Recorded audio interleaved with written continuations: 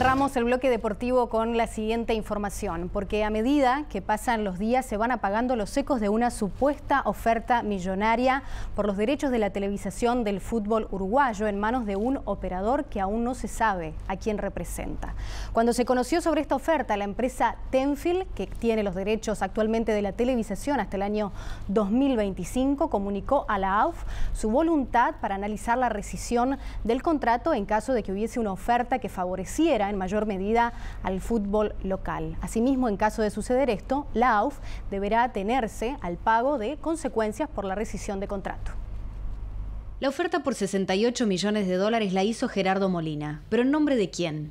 El 20 de noviembre dijo que en nombre de Fox y Turner. El 30 de noviembre cambió y dijo que a Fox y la China PPTV. Luego cambió y dijo que a Euroaméricas Sports Marketing y por último que era Liberty Media y la China PPTV. La oferta fue tan extraña que motivó un tuit de Marcelo Tinelli comparando la oferta por el fútbol uruguayo y la que se hizo por el fútbol argentino. Pero ¿quién es Gerardo Molina? Dice tener un máster en negociación y resolución de conflictos de la Universidad de Harvard, pero la Universidad de Harvard no ofrece esa carrera.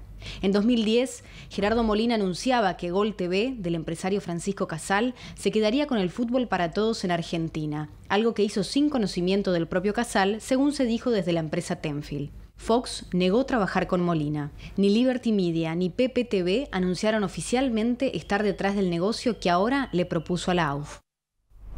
¿La oferta se mantiene? Solo el tiempo lo dirá. Hacemos una pausa y ya volvemos.